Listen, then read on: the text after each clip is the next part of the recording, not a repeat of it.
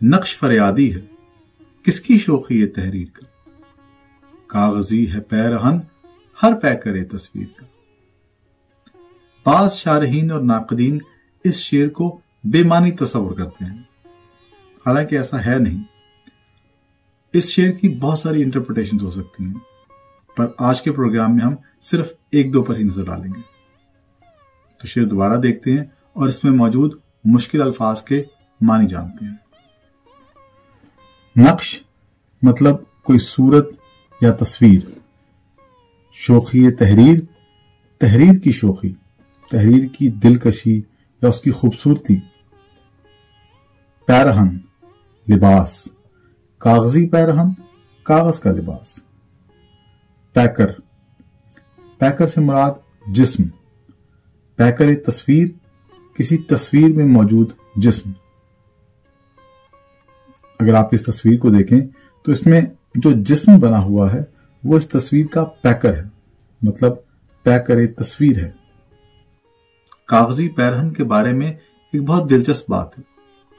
जो मिर्ज़ा गालिब ने अपने इसी शेर की शरह करते हुए अपने एक खत में, जो कि ऊद हिंदी उनके खतूत का एक मजमुआ है, उसमें मौजूद एक खत में लिखते हैं कि ईरान में एक रस्म थी कि जब भी किसी फरियादी को बादशाह या हाकिम के सामने पेश करना होता था तो उसे कागज़ का लिबास पहनाकर पेश किया जाता था।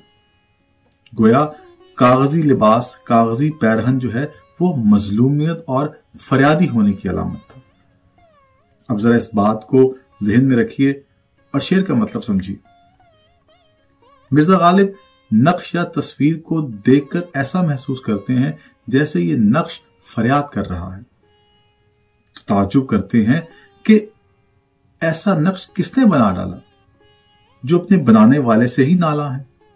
हालाँकि बनाने वाले ने उसे शोखी तहरीर से, यानी इंतहाई खूबसूरती, दिलकशी से बनाया है। लेकिन ये नक्श फिर भी फरियाद कर रहा है कि मुझे आखिर क्यों बनाया? अब सोचने वाली बात यह है कि मिर्ज़ा को कैसे मालूम पड़ा कि ये नक्श फरियाद कर रहा है और क्यों कर रहा है? तो इसका जवाब दूसरे मिसरे में है। कागज़ी है पैरहन हर पैक करे तस्वीर का। मतलब हर पैकर तस्वीर, यानी तस्वीर में मौजूद हर पैकर, हर नक्श कागज़ का लिबास पहने हुए है। और कागज़ का लिबास पहनना फरियादी होने की अलामत है। जैसा कि मिर्ज़ा ने अपने वो खत में ईरान वाली रस्म के हवाले से बात की।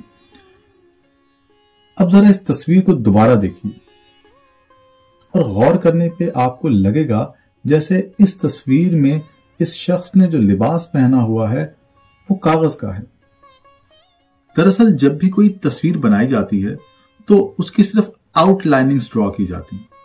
उसके अलावा हमें जो भी नज़र आ रहा होता है उस तस्वीर में, वो महज कागज़ होता है।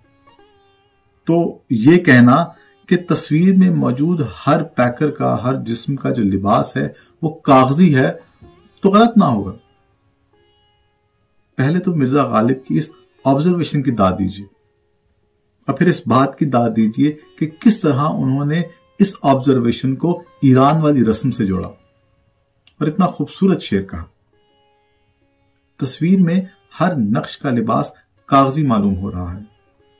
इसलिए मिर्ज़ा ने ख्याल किया कि हर नक्श ही फरियादी है, क्योंकि कागज़ी लिबास पहनना फरियादी होने की अलामत है। एक और इंटरप्रिटेशन जो इसकी की जाती है, वो ये कि यहाँ पे नक्श से मुराद इंसान है और इंसान फरियाद कर रहा है अपने खालिक से, अपने बनाने वाले से कि तूने मुझे इस दुनिया में क्यों भेजा? यहाँ पे हर पैकर तस्वीर, यानी हर इंसान जो है, वो कागज़ी पैरहन पहने हुए है, यानी मजलूमियत का, तकलीफों का और दुखों का शिकार है। तो फिर मुझे इस मामूर गम में क्यों भेजा? हासिल शेर ये है कि हस्ती चाहे किसी भी चीज़ की हो, वो बायसे रंजो मलाल है। ताकि तस्वीर भी अपने बनाने वाले से फरियाद कर रही है कि मुझे बनाकर रंजे हस्ती में मुबतला क्यों किया?